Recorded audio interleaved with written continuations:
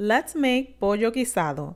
For the full list of ingredients and step by step instructions, please visit madewithsazon.com.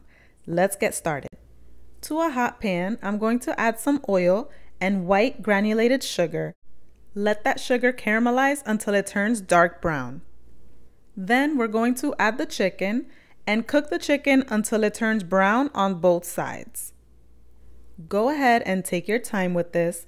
We want to get a nice dark color on the chicken because that's going to add richness and flavor to our pollo guisado. Then to a large pot, we are going to add our chicken along with sofrito, tomato sauce, seasonings, vegetables, and enough water to cover. We are going to let this simmer on low heat for 30 to 45 minutes or until the sauce has thickened and the chicken is tender. Find the full recipe at madewithsazon.com and subscribe for more Latin recipes like this.